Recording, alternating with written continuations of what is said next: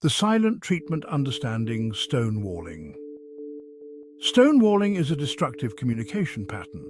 It occurs when one person withdraws from a conversation. They refuse to engage with their partner. This creates a metaphorical wall between them.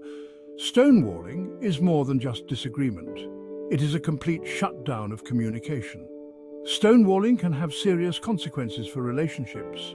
It damages trust and intimacy. When one partner shuts down, the other feels unheard and unimportant. This can lead to feelings of resentment, anger and loneliness. Over time, stonewalling can erode the foundation of a relationship. It can make it difficult to resolve conflicts constructively. Stonewalling can be a difficult pattern to break. It often stems from deep-seated emotional issues. These might include fear of conflict or difficulty expressing emotions. However, by understanding stonewalling and its causes, couples can learn to communicate more effectively. They can build healthier and more fulfilling relationships. Recognizing the signs of stonewalling is the first step towards addressing it. In the next section, we will explore the common indicators of this harmful communication pattern.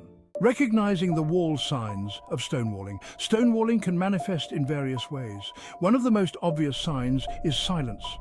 The stonewaller may refuse to speak or give one-word answers. They may avoid eye contact and display closed-off body language. The stonewaller may physically leave the room or emotionally check out. Recognizing these signs can help couples take steps towards healthier interactions. Why do people stonewall? The roots of silence. Stonewalling doesn't happen in a vacuum. It's often a symptom of deeper emotional issues. One common reason is emotional overwhelm. When someone feels flooded with negative emotions like anger or fear, they may shut down as a coping mechanism.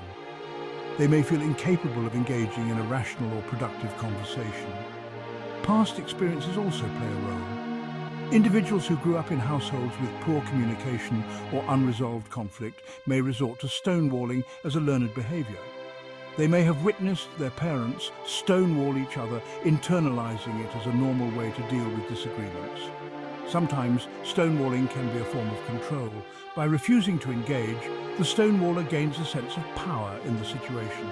They may use silence as a weapon to punish their partner or avoid taking responsibility for their actions.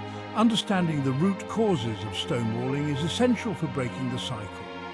By addressing the underlying emotional triggers, individuals can develop healthier coping mechanisms and communicate their needs more effectively. Section 4. Breaking down the wall. Strategies for communication. Breaking down the wall of stonewalling requires effort from both partners. The first step is to acknowledge the problem. Recognize the harmful effects and work towards change. Taking a break can be helpful. Step away to calm down and gather thoughts. Empathy is crucial. Understand your partner's perspective. Listen actively and validate their feelings. Set boundaries. Explain how their behavior affects you. Section 5, Real-Life Stonewalling Examples and Impact. Let's look at some real-life scenarios to illustrate the impact of stonewalling. Imagine Sarah and David arguing about finances. Sarah is upset about David's spending while David feels controlled. David shuts down, refusing to engage. He avoids eye contact and offers curt responses. In another scenario, Emily and James discuss weekend plans. Emily wants to visit her parents. James wants to attend a party. James becomes withdrawn and disengages. Stonewalling creates a communication breakdown. Section 6. Building bridges, the importance of addressing stonewalling. Stonewalling is a serious issue that can have long-term consequences for relationships. It creates a toxic dynamic where partners feel unheard, unvalued and disconnected. Addressing stonewalling is not about placing blame, but about fostering healthier communication patterns. By recognizing the signs, understanding the root causes and implementing effective strategies, couples can break down the walls of silence and build stronger, more fulfilling relationships. Remember, communication is a two-way street. It requires effort, empathy and a willingness to understand and be understood.